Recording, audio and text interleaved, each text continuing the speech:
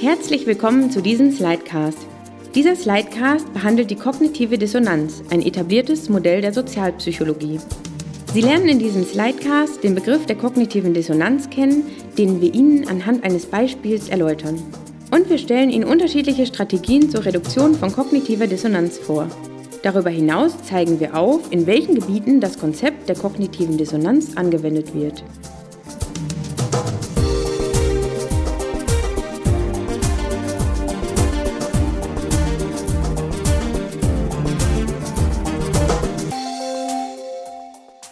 Den Begriff der kognitiven Dissonanz prägte der US-amerikanische Sozialpsychologe Leon Festinger in seinem Buch A Theory of Cognitive Dissonance, welches er 1957 veröffentlichte. Hierin ging er davon aus, dass Individuen nach kognitiver Konsistenz streben, die immer dann gegeben ist, wenn die Einstellung mit dem Verhalten übereinstimmt.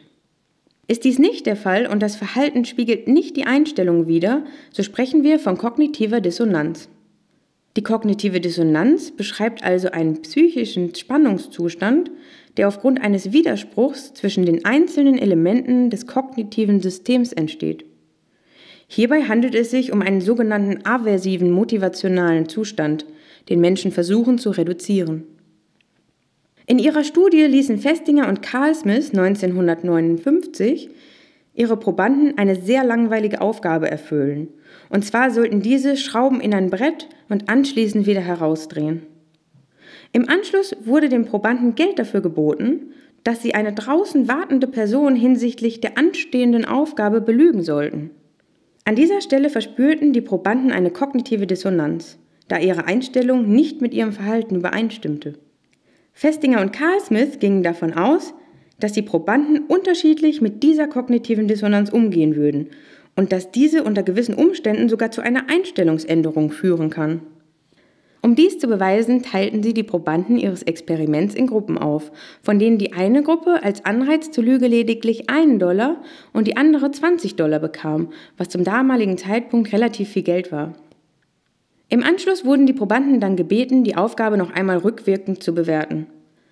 Diejenigen, die nur einen Dollar bekommen hatten, bewerteten die Aufgabe nun deutlich positiver als zuvor, während diejenigen, die 20 Dollar bekommen hatten, die Aufgabe immer noch als langweilig bewerteten.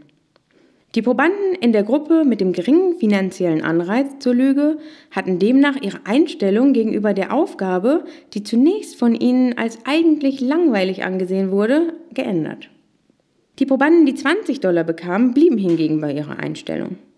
Die Wissenschaftler erklärten die Einstellungsänderung damit, dass die Probanden für ihre Lüge gegenüber den wartenden Personen keine ausreichende Rechtfertigung erhalten hatten und ihre kognitive Dissonanz daher offensichtlich bestehen blieb. Um die Dissonanz abzubauen, blieb ihnen nichts anderes übrig, als ihre Einstellung zu ändern.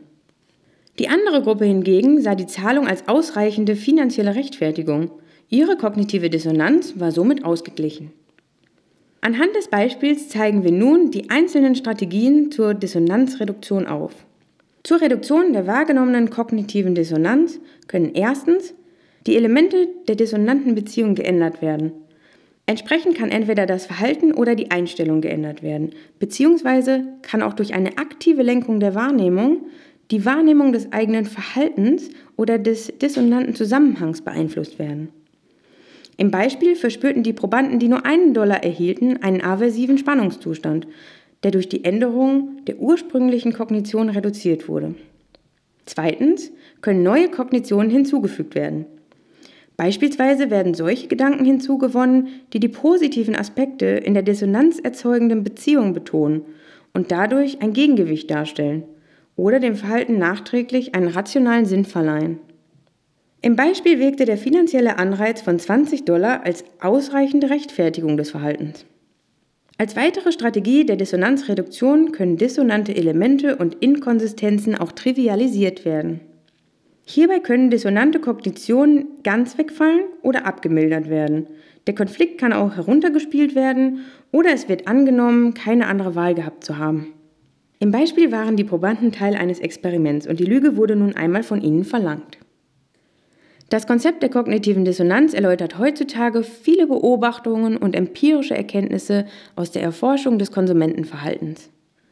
Beispielsweise empfinden Kunden im Supermarkt oder bei ihrem Restaurantbesuch vielleicht kognitive Dissonanzen, da sie entsprechend dem Trend zum nachhaltigen Konsum ihre Essgewohnheiten verändern und weniger tierische Produkte zu sich nehmen wollen. Anbieter entgegnen diesem Trend mit dem Angebot von Biofleisch, um die kognitive Dissonanz der Kunden zu mildern. Auch findet das Konzept der kognitiven Dissonanz Anwendung auf dem Gebiet der Organisationspsychologie zum Beispiel als Indikator für Entscheidungssicherheit bei der Personalselektion. Stellt sich die Auswahl eines passenden Bewerbers im Nachhinein als falsch heraus, so wird dies oft auf eine unzureichende Bewerberlage anstatt auf eine eigene falsche Einschätzung zurückgeführt. Ebenso ist auch die klinische Psychologie ein Anwendungsgebiet des Konzepts. Patienten mit Bluthochdruck, Depressive und auch Zwangspatienten leiden in vielen Fällen unter Dissonanzproblemen. Sie haben nun in diesem Slidecast gelernt, was unter kognitiver Dissonanz zu verstehen ist, wie diese entsteht und mit Hilfe welcher Strategien sie reduziert werden kann.